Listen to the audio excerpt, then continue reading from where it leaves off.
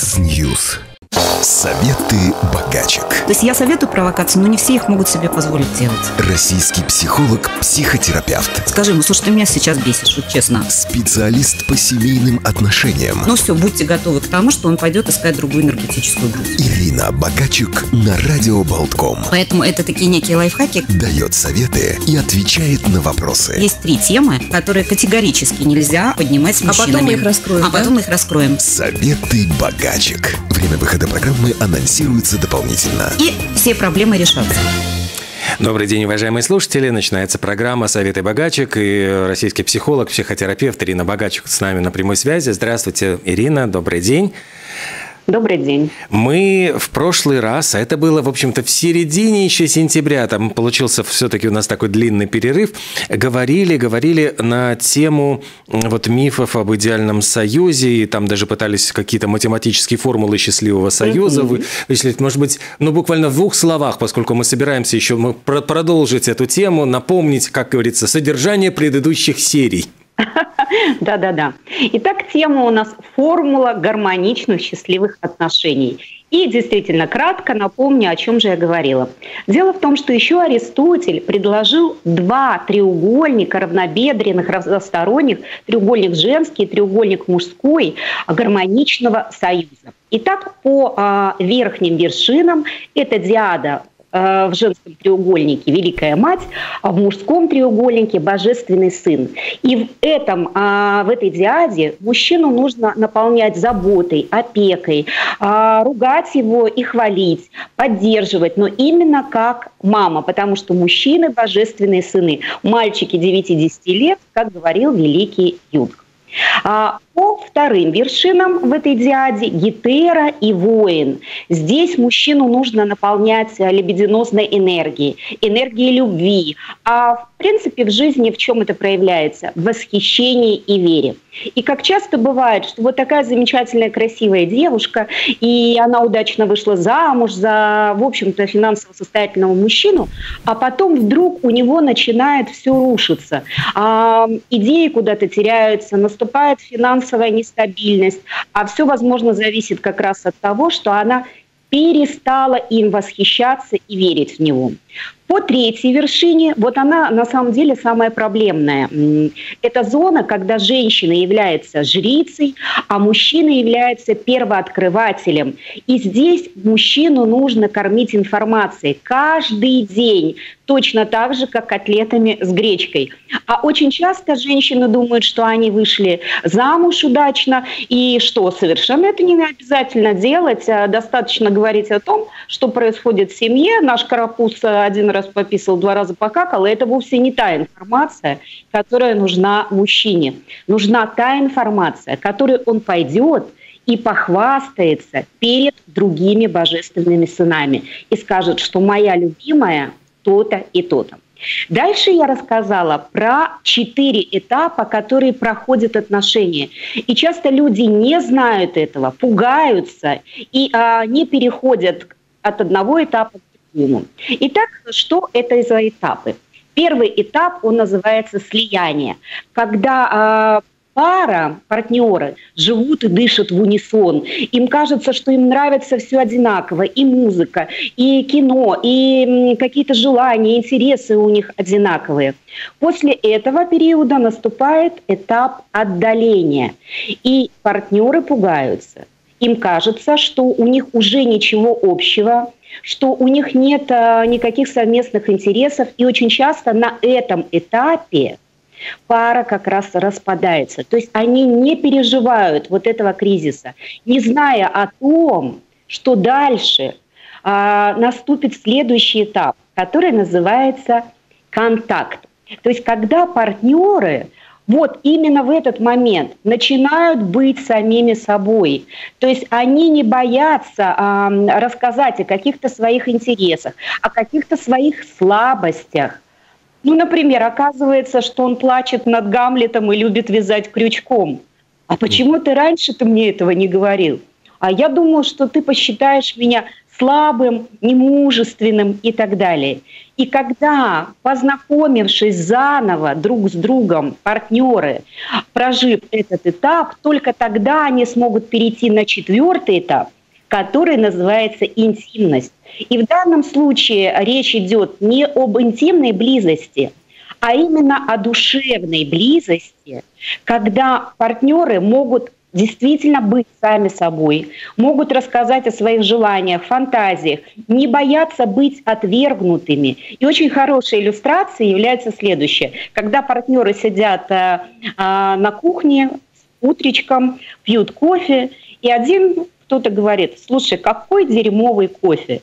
Угу. И оба понимают, что это всего лишь о кофе но никак не о друг друге. И вот эти вот этапы, они будут сменять друг друга. Затем снова наступит слияние, затем снова отдаление, затем снова контакты, что-то новое узнаешь о своем партнере, и снова интимность. То есть отношения идут по синусоиде. И вот это нужно очень хорошо понимать и не бояться этапа отдаленности, когда тебе кажется, что вдруг ты уже становишься неинтересным а, своему партнеру. И вот сейчас я как раз перехожу к тому, о чем я еще не рассказывала, а именно о мифах или заблуждениях, которые очень сильно меняют отношения а, которые очень сильно влияют на отношения. И людям кажется, что если у них такое происходит, ну все, крах, все, а, туши свет, разводись, дели имущество и так далее. А дело в том, что вот эти заблуждения, эти мифы так глубоко могут сидеть внутри нас, что они а, являются, как бы, знаете, вот интроектами, то есть как крабами, которые вот а, вроде бы я с ними не согласен, но ведь так же все говорят, значит, наверное, действительно в этом правда. И вот сейчас я полностью разрушу эти мифы и начну рассказывать, чего не стоит бояться и чего точно не стоит считать а, а, истиной в первой инстанции. И первое заблуждение, оно о том, что любящие супруги все время должны, вот это слово должны, говорить друг другу правду. А, и вот здесь очень большой вопрос. А стоит ли своему партнеру говорить о том, что у него появились лишние килограммы, или вдруг у него начинает, понимаете, просвечиваться а, слегка лысина. Может быть, эта честность будет очень жестокой, может быть, она может причинить действительно боль. И а, здесь прям конкретные случаи а, приведу угу. из моей клинической практики. Одна девушка, уже будучи замужем, где-то пару лет они уже жили с супругом, и казалось, что у них идеальные отношения, то есть э, все прекрасно, все замечательно. И вот она решила рассекретить ему, э, в общем-то, очень глубокую свою э, травму, что в 16 лет она подверглась изнасилованию. А супруг ее э, восточный мужчина. И она не то что не получила от него поддержки и понимания, а у него, знаете, что называется по нарастающей, симптома комплекс порочного круга. То есть каждый раз, когда он э, напивался на празднике или еще где-то, он приходил и говорил, это ты себя так вела, это ты спровоцировала этих мужчин, чтобы они на тебя напали. Ну, потому что в восточных традициях, угу. да, а, скорее всего, виновата женщина, да, в том, что такое произошло и дальше больше, дальше больше. Он начал уже ее эм, обзывать, э, то есть такие совсем эпитеты относительно нее. И закончилось все тем, что он применил физическое насилие по отношению к ней. Ну и, конечно же, пара э, распалась. Ну, э, Должна ли она была говорить эту правду? Возможно, ей хотелось поделиться, но, скорее всего, это нужно было сделать э, со специалистом, который бы помог тебе справиться с этой травмой и не привносить это в отношения, потому что я все время говорю, отношения – это удар ладошек, это двое. Нельзя сюда помещать никого третьего, даже каких-то бывших фантомов.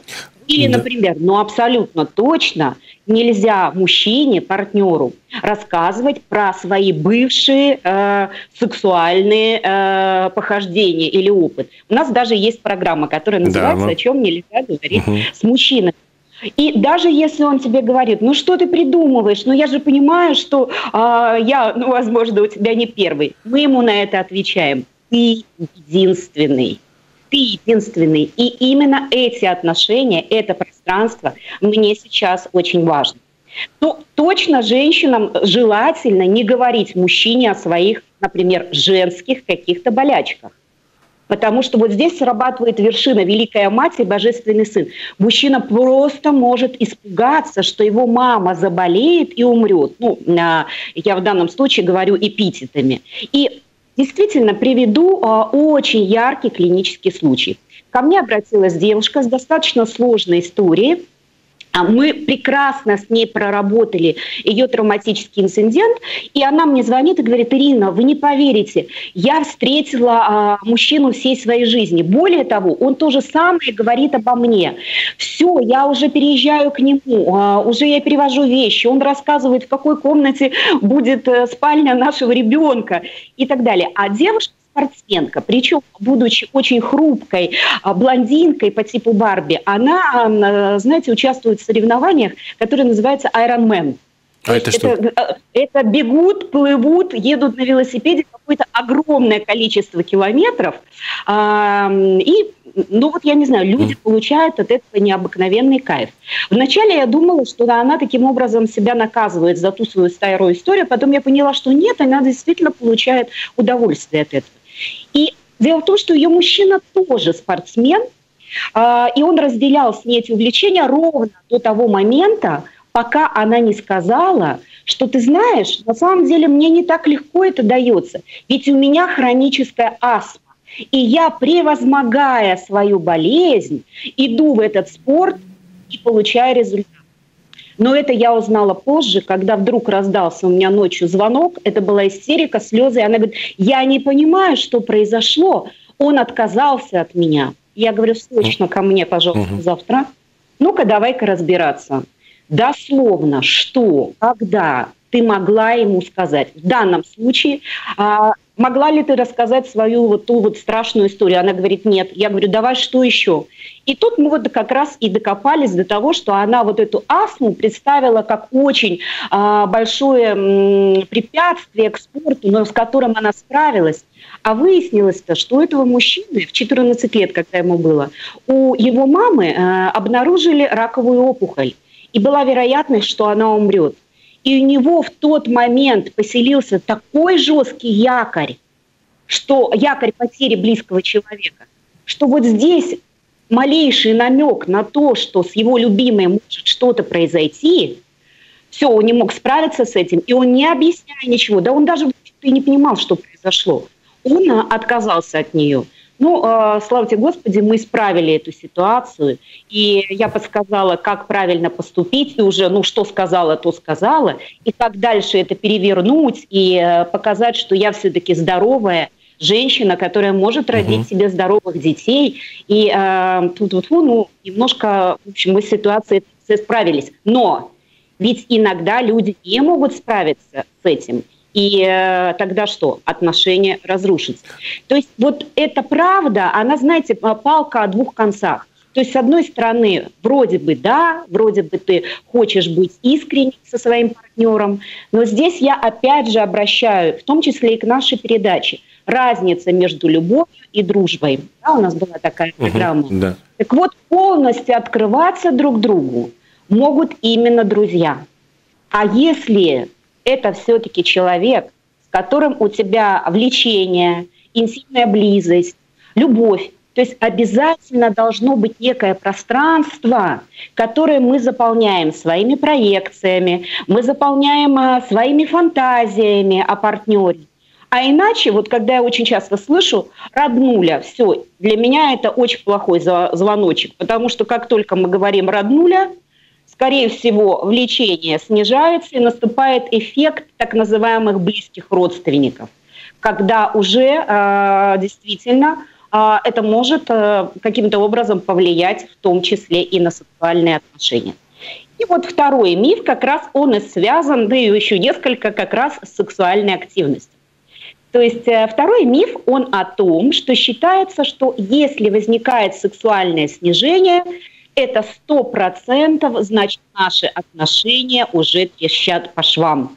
А, принято считать, что вот эмоционально близкие пары, они должны вести очень бурную сексуальную активность. И вот эта сексуальная активность как раз и говорит о том, что между ними все хорошо. Но на самом деле парадокс заключается в том, что любовь и влечение могут конфликтовать, как часто люди ненавидят друг друга, но у них бывает страсть да, по отношению к друг другу. Или а, идти параллельно, или вообще а, э, как бы какой-то элемент может не присутствовать, но при этом двое, в данном случае могут быть так сильно привязаны друг к другу за пределами спальни, что они даже жизни не мыслят э, друг без друга. И огромное количество пар, мы таких знаем, Олег, тоже в данном да. случае сейчас, может быть, свои примеры какие-то приведете, но вот я абсолютно точно вспомнила Людовика и Маркиза де Помпадур. То есть когда она уже, в общем-то, была для него не совсем сексуально привлекательна, она додумалась до того, что она сама ему выбирала э, фаворитов, угу. да, и э, он был с ней близок э, достаточно долго. Или очень известная пара э, Гала и Сальвадор Дали, когда Гала посчитала, что она тоже уже теряет сексуальную привлекательность, она э, заточилась в своем замке, в своем дворце, при этом принимала любовников, но Сальвадору Дали она как бы отказывала, а, потому что хотела, чтобы в его памяти она осталась той самой роскошной галой, в общем, которой он посвятил всю свою жизнь. Май... Маяковский, ходить? да, и Лили Брик, например, да. Вот-вот-вот, конечно же, да. Угу. Тоже как... Вот. Или да-да-да. Или что вот далеко ходить, мне вот очень хороший пример сейчас вспомнился прямо вот сейчас по ходу. А, это моя бабушка с дедушкой. Вы знаете, когда я была маленькая девочка, и заходила а, к ним в комнату, а мой дедушка был очень высокий мужчина, а бабушка маленькая, такая же, как я. И я видела, как они лежат на атаманке, она у него под мышкой, и я думала, какая ерунда а, старики, а что-то там, я не знаю, обнимаются, что-то там а, вообще такое творят. И только сейчас, конечно же, ну, спустя много лет, а, я понимала, что это вот как раз и есть та самая душевная близость, а скорее всего уже, конечно же, там не было никакой сексуальной активности, люди взрослые были.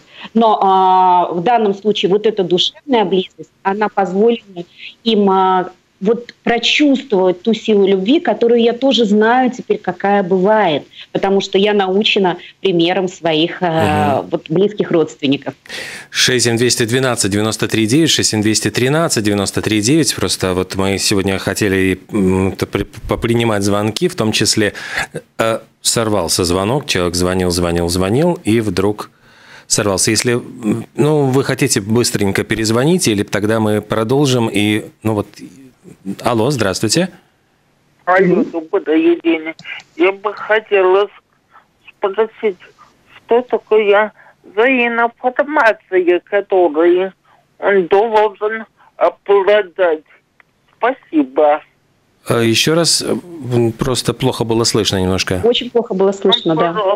Просто мы сказали, что он должен обладать информацией Информации. А, я понял, да. Какой информации должен... Да, я понял, да, да, да.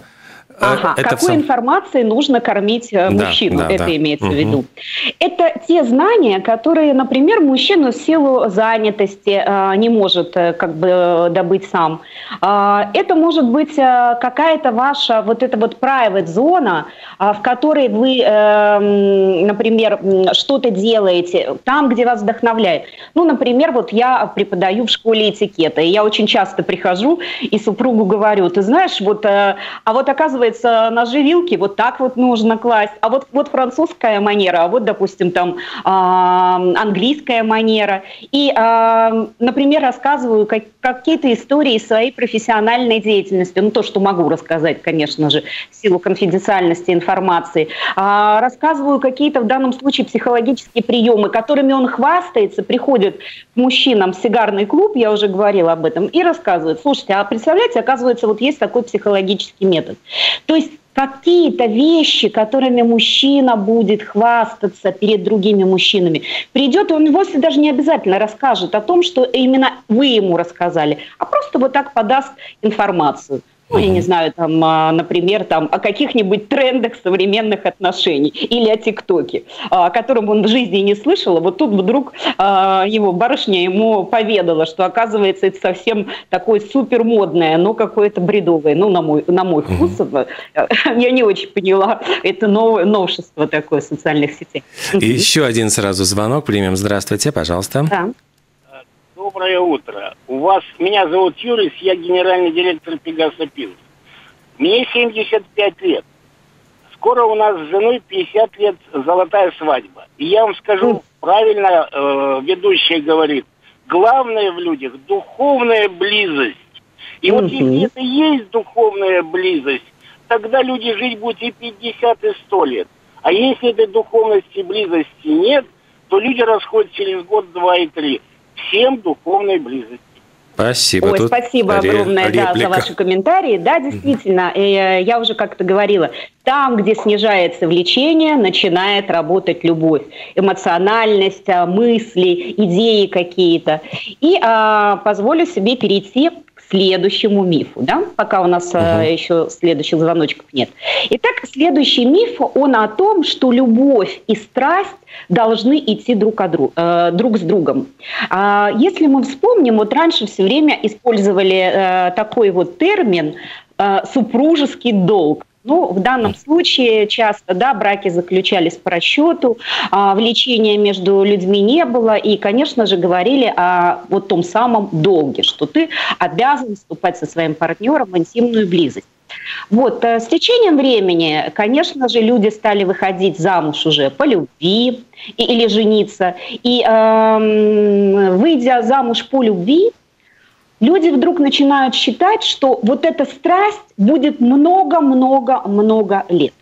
И если мы э, сделаем комфортность, вот это вот у нас будет близость эмоциональная, то вот о чем я говорила раньше, мы будем обо всем друг другу рассказывать, то э, сексуальная активность будет увеличиваться, то есть страсть будет все больше и больше. На самом деле это миф. И вы знаете, хочу рассказать очень интересную историю. Когда я а, была студенткой и училась в Варшавском университете, у меня был коллега, молодой аспирант, и вот как-то мы там общались между собой, и я ему говорю, слушай, пойдем сегодня в кино. А он говорит, нет, сегодня в кино пойти не могу. Э, я говорю, почему?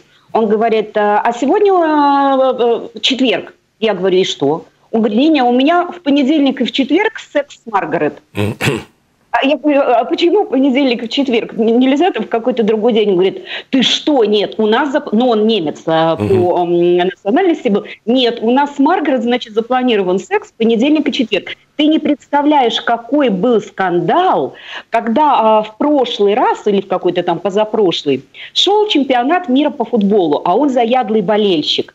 И вот а, должен был закончиться чемпионат в 23.00, а у них секс в 23.00 еще ни много ни мало, да. кроме того, что понедельник и четверг. А там, я не знаю, что-то, ну вот часто же в футболе там, э, и хоккей или футбол, футбол, по-моему, э, задерживают Бывает, игру, да. потому что там вот назначают угу. дополнительный какой-то... Время, э, там, пена... да, да. Да, да, да. И вот, э, я не знаю, там на полчаса или на 40 минут затянулся этот матч. А они так разрукались, что они даже вынуждены были пойти к семейному психологу, потому что она стала выдвигать требования и говорит, что значит он ставит свои интересы превыше моих, значит ему наплевать на наши договоренности, причем тут хоккей. У нас вот такие есть договоренности. Так о чем это договоренности? Как раз о том самом супружеском долге, да, который как раз является долгом. И а, для некоторых людей действительно вот это комфорт, безопасность, то, что мы знаем уже друг друга, действительно могут активизировать сексуальную активность.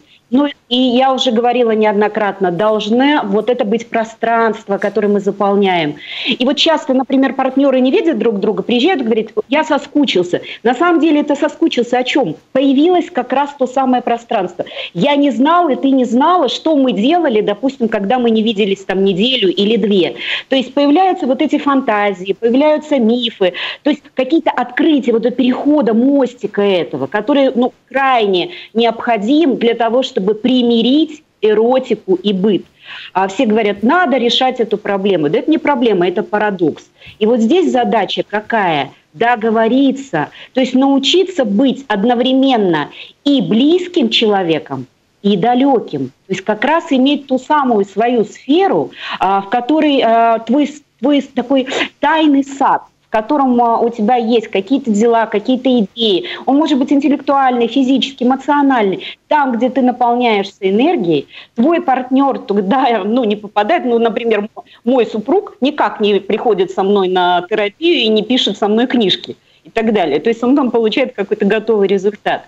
То есть вот этот вот угол, вот как раз та самая информация, да, она и делает нас далекими, то время как эмоциональная близость делает нас близкими. Угу. Сейчас еще один попробуем Вам... принять звонок. Да, угу. здравствуйте, добрый, добрый день. Пожалуйста, добрый день. Добрый Вы... день. Вот скажите мне, пожалуйста, скажите, опять еще раз Юрий меня зовут. Да-да-да. Вот скажи, обратите внимание, рождаемость у нас в Латвии падает, угу. много разводов. А почему это происходит? Потому что ведь самое главное в жизни человек должен получать три удовольствия в жизни. Первое удовольствие – духовное. Одеваемся красиво, картины смотрим и так далее. И так далее. Наслаждаемся духовно. Второе удовольствие – сексуальное. Когда есть сексуальное удовольствие, тогда рождаются дети и так далее. Но обратите внимание, мужчин, Юрис, извините, очень, Ой, очень плохо очень слышно, слышно да. очень плохо слышно, к сожалению, но я могу вот, ну, первое, вот, что мы услышали, почему действительно все-таки падает э, и рождаемость, и люди реже ну, вот официально оформляют союзы. Да-да-да. Вот угу. Я понял. Вот... А, очень хороший вопрос. Он как раз очень тесно связан со следующим а, мифом. О том, что а, мужская и женская сексуальность по своей природе различны. Что да, действительно, если женщина может слукавить, то мужскую несостоятельность, ну, в общем, ее никуда угу. не скрыть. И часто бытует такое мнение, что у мужчин преобладает физика, то есть их инстинкты вот такие вот примитивны, в то время как для женщины нужна эмоциональность, а у женщины такой, знаете, характер сложный, желание переменчивое и так далее. Да, действительно, Частично, совсем немножечко это так, но все-таки в жизни, сексуальной жизни мужчины эмоциональность тоже имеет огромную роль. И в данном случае тревога, стресс, какие-то проблемы в бизнесе, они могут напрямую влиять на сексуальную активность, а время непростое, действительно очень стрессовое. И есть такое понятие, э, которое называется «горячая голова». Да, очень часто мужчины используют секс как антистресс, но мы и помним о том, что они божественные сыны, и в случае, когда у них случается что-то стрессовое, они скатываются в регресс, то есть детскость, а там три базовых биологических потребности – сон, еда, секс. Ну, в данном случае может быть еда, а может быть алкоголь. А, вот. Итак, что же за такое понятие «горячая голова»? А, один раз мне нужно было договориться с лепщиками, которые делают лепной декор э, на потолке. И я а, никак не могла сторговаться по цене и пригласила с собой свою подругу. А, надо сказать, что подруга удивительная, она живет в Америке, и, и там вообще сейчас такая, знаете, тенденция. Говори, говорю все, что думаю. Вот сейчас очень, кстати, прокачивается вот этот проект, что люди должны говорить все то, что э, они, допустим, пишут чтобы они умели открыто говорить. Но я уже высказала свое мнение да, по поводу того, нужно ли человеку прямо говорить правду в глаза. Но конкретно этой истории. И вот э, мы сидим, разговариваем, обсуждаем э, этот лепной декор и так далее. И вдруг моя подруга-американка выдает следующее. Она говорит, слушайте, вы же такие творческие мужчины. У вас же, наверное, профессиональное хроническое заболевание. Они говорят, какое? Mm. Она говорит, горячая голова. Я думаю, мама дорогая, что она несет? Она говорит, ну дело в том, что когда у вас голова горячая, то есть вы в творчестве, вы в идеях, то, э, ну, та голова, вот, ну, это сексуальная активность, она снижается. Я думаю, ну точно я не куплю uh-huh. никакой лепной декор. И это действительно правда. То есть нельзя воспринимать мужчин как биороботов. И вот отвечая на вопрос Юриса, конечно же, мы говорим о том, что очень сейчас стрессовое время. И отношения – дело рук женщины. Успокаивайте своих мужчин.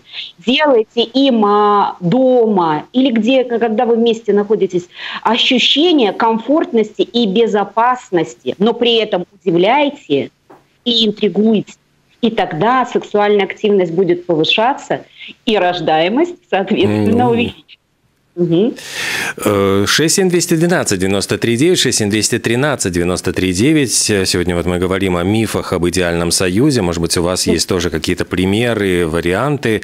Э, не стесняйтесь, дозванивайтесь, э, высказывайте свое мнение по этому поводу. Ну, а мы пока продолжаем вот разбирать продолжаем. Да, да. мифы. И вот пятый э, миф э, или заблуждение, что идеальный союз основан на равенстве – и вот здесь как раз и начинается та борьба, которой я закончила прошлую нашу передачу. Я сказала, или ты в борьбе, или ты в отношениях. Если начинается та самая борьба за равные права, считай, союз провалился. В гармоничном союзе люди дополняют друг друга и точно не повышают свою самооценку за счет того, что принижают э, какие-то качества э, своего партнера. А в гармоничных отношениях нет страха быть бледнее, что я в чем-то не преуспел. И э, очень часто сейчас время такой критики, выискивания недостатков. Мы такие очень все продвинутые, что называется, психологии, в том числе и самокритики. И я приведу вот конкретный пример. Одна барышня, а у них прямо тоже дошло практически до развода приходит ко мне и говорит, вы знаете, уже тоже они были в долгих отношениях, и как-то раз она своему партнеру сказала следующую фразу, то есть решив покритиковать. А он что-то там не знал, а, я уже конкретно не помню что, и она сказала, ты плохо образован. Mm. И если бы кто-то, допустим, не обратил на эту фразу внимания, то ее мужчина он настолько болезненно отреагировал, в нем заикарилось это состояние, что дальше, а, когда, а, допустим, она стала обращаться к нему с какими-то просьбами помочь ей, он говорил, ну ты же у нас самая умная, ты же самая образованная, иди и решай. И дальше больше, и дальше больше – а, и она говорит, я не знаю, что с этим делать. Вот так вот иногда брошенная фраза, критическая фраза, она может полностью обесценить твоего партнера.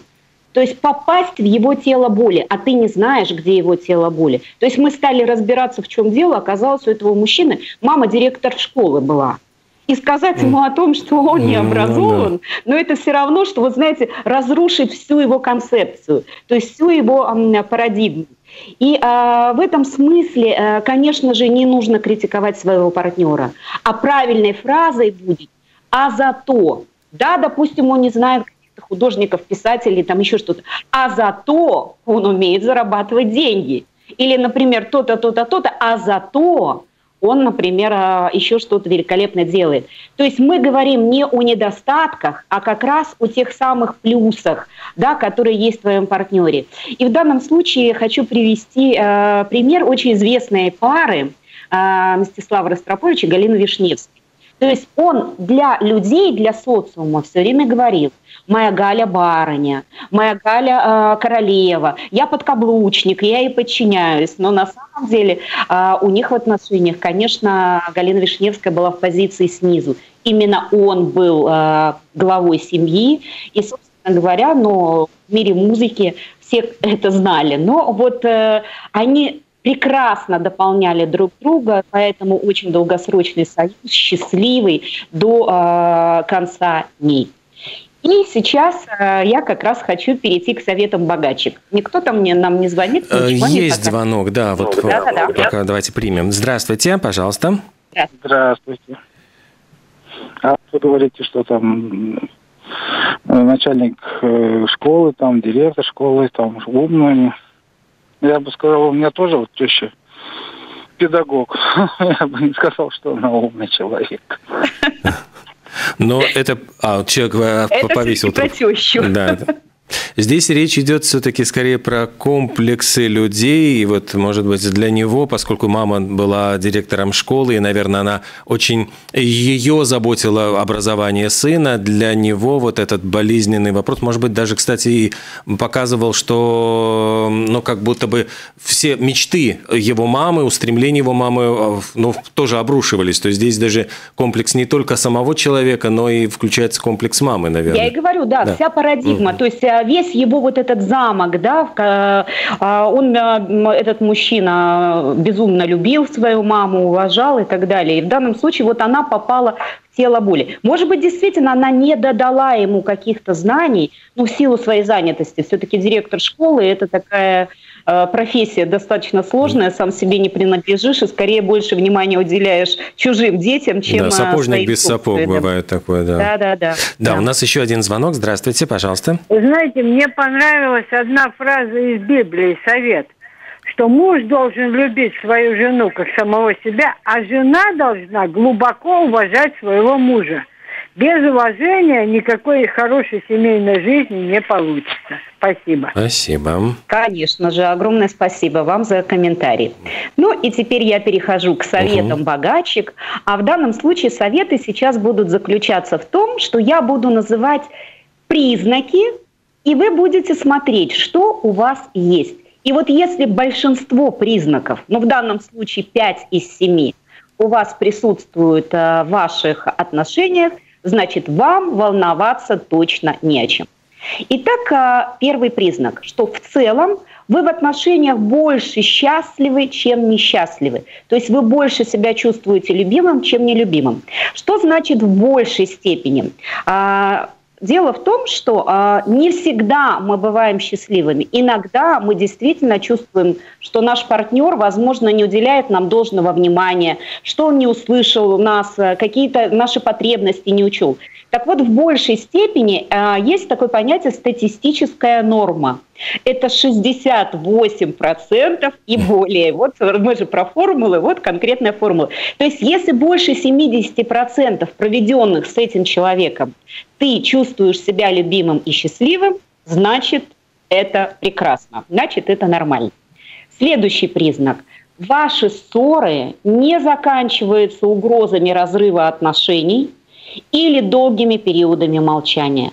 То есть вы действительно умеете правильно ссориться и договариваться.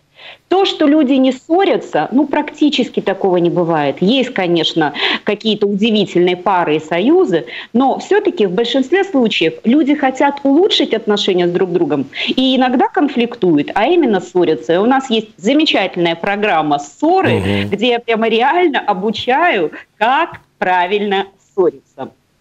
Ну и когда люди молчат, а еще одно из моих таких постулатов, советов богачек, я все время говорю о том, что проблемы стоит проговаривать. Только не тыкая друг другу «ты, я, ты, я», а говоря о том, что неприятно, плохо, грустно от того, что вот так-то получилось. То есть мы говорим в неопределенном числе. А, конечно же, а, третьим признаком является то, что вы в своих отношениях можете рассказывать своему партнеру о своих желаниях, о своих фантазиях, о своих ошибках, что вы где-то облажались, о своих каких-то печалях, сомнениях. Да, ваш партнер не всегда разделяет это – да, он, может быть, покритикует и посмеется, что вы там э, решили, я не знаю, пойти учиться вокалу или обратились в школу этикета, например, да? Угу. Но тем не менее он примет и он уважает вашу позицию, но если только она кардинально не конфликтует а, с его какими-то базовыми а, ценностями. Четвертым признаком является то, что вы э, можете быть самим собой и не обязательно всегда подстраиваться под настроение и желание своего партнера. И вы не боитесь это сказать, что да, вот он, например, э, предлагает поехать на дачу, а вы говорите, нет, я лечу, например, почитать лекции куда-то. Столкновение интересов, да, но вы не боитесь это сказать. И это говорит о том, что значит в ваших отношениях есть та самая гармония и понимание. А, и поэтому шестым признаком является то, что вы, э, у вас нет ощущения, что вы сражаетесь за отношения. что вы боретесь с какими-то реальными людьми или какими-то фантомами. То есть в ваших отношениях больше именно гармонии и позитива. Ну и, конечно, главным признаком является то, что у вас есть совместные планы и цели. Вот а, то, что называется в обычной жизни будущее, в терапии называется пространство возможностей. Именно вы определяете да, эти возможности. И если вы хотите быть а, в счастливых, гармоничных отношениях, будьте, формула достаточно проста. Что же, спасибо большое, Ирина Богачек и Советы Богачек. Э, время программы, но всегда немножечко у нас э, плавающее, поэтому следите. Обычно это бывает пятница, 13 э, часов, но не каждую пятницу, обычно через две пятницы. Я надеюсь, что мы встретимся снова. Спасибо большое и до новых встреч. Да, всем до свидания. Спасибо тем, кто звонил и задавал вопросы.